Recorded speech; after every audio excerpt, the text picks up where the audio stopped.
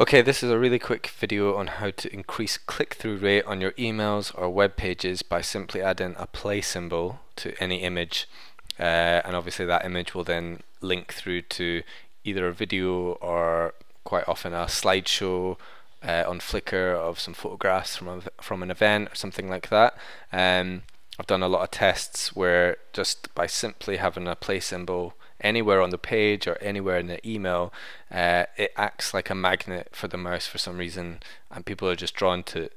Um, so it's a really simple, quick thing to do, um, but obviously helps if you have videos and images to link through to.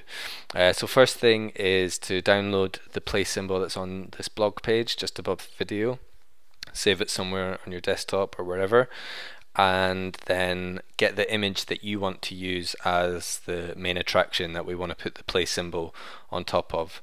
Uh, so for the purposes of this tutorial I've just got a random image of a conference speaker um, and I want to put the play symbol on top of that.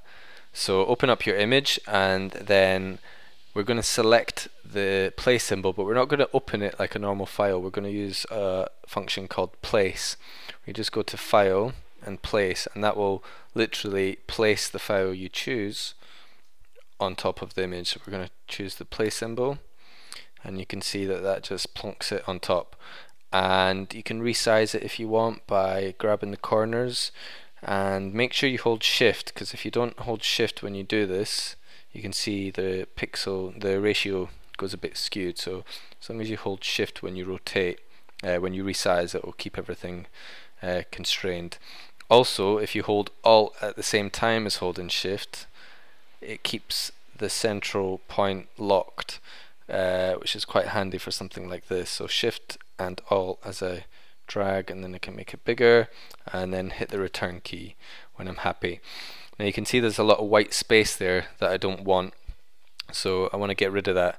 And before we can properly edit this image though, and I won't go into too much detail about what this means, but you'll probably find that the play symbol has uh, been placed upon your image in a stranger format. So what we need to do is go to the layers palette and right click on the play symbol and just click on rasterize. Um, it's beyond this tutorial to explain what this means, but just do it and then you'll be able to continue as normal. So rasterize the play symbol layer and then we want to get rid of these white um, spaces. Uh, so I want to use the magic wand tool, so just W for wand and I want you to click on the white space and then press delete and then click on that white space and then press delete and that's you got rid of the white space then just quickly press M for the marquee tool and click anywhere in the image just to get rid of those marching ants. Um, so we have the image looking like so. Uh, now there's a few things you can do before you can you wanna you might want to save this. Um, first of all, you might want to change the color of the play symbol. You might not be happy with the red. So if you just press Command U to get the hue saturation box up, and just by simply dragging the hue slider you can change the color to anything you want basically so let's maybe change it to uh, bright green say click OK uh, another thing that I've found which often helps uh, the play symbol stand out a lot more and is quite common practice when you see this uh, effect being used is to desaturate the background photograph. Uh, so click on the background layer and then again using command U to get the hue saturation box up just grab the saturation slider and start to drag it down. You can drag it, drag it down to minus 100 which is completely black and white or you might just want to make it a little bit more grayed out. Uh, and then click OK. And then that's it basically. You just save as shift command S or Shift Control S if you're on a PC and just call it play or let's call it video link and then save as JPEG.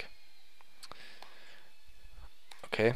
And then now with this you would upload it to your email or your web page and add a link to it just like you would add a link to normal text uh, linking through to whether it's a slideshow from a conference or a video whatever.